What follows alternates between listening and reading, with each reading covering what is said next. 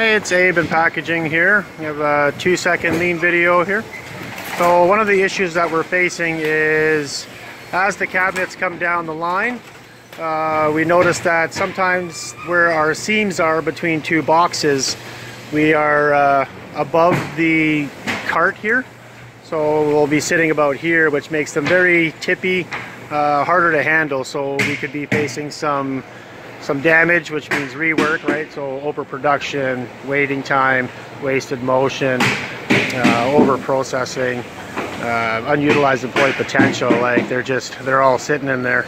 So what we're gonna do is we've capped off a, at the seventh roller, should make our seam basically no higher than about here.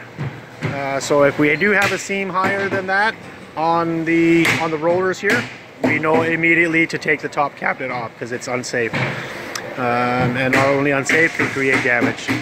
So stay tuned for the second part of the video. Yeah. Okay, welcome back to packaging for another second part of the two second lean video.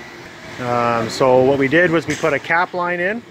Uh, so if there's any seams uh, higher than this yellow line, these will get omitted. Everything on the bottom gets stacked and put into the buffer. So what I mean by seams is you see this cabinet here, you're looking right here. So that's the seam is where we stack one cabinet onto the other. Uh, so these being painted should give us a very good visual as to everything from here down is good, everything from here up is bad.